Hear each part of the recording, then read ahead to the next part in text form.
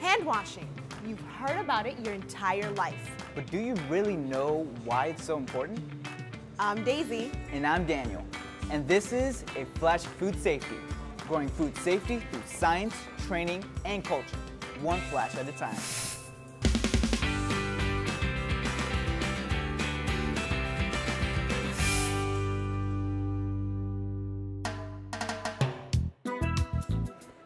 Be discussing the importance of hand washing for school nutrition professionals. That's right, guys.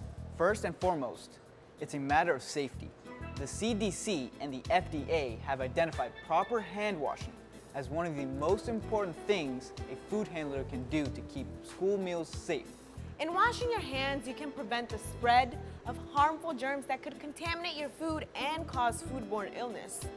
And as shown here, it is important that we do not underestimate the effects of foodborne diseases.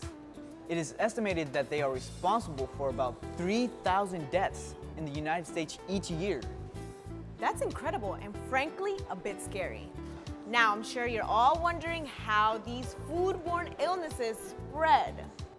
Unfortunately, harmful germs can spread in many ways. For example, let's say a food handler is sick and experiencing diarrhea or vomiting. They contaminate their hands and for whatever reason, fail to properly wash their hands. They then handle and contaminate the food that children will eat later. All of a sudden, it's not just the food handler that's sick. Because it's so easy for harmful germs to spread, it's just as important to know when to wash your hands as it is to know how to wash your hands. That's right.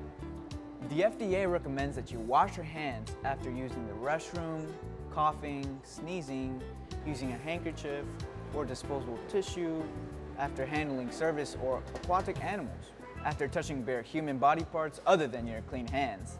During food prep, after handling raw food, after using tobacco, eating or drinking, after handling unclean utensils, and after engaging in other activities that may contaminate your hands. And don't forget that you should always wash your hands before putting on gloves. Now that may sound like a lot to remember, but really it's just a matter of using your common sense to keep yourself and your children safe.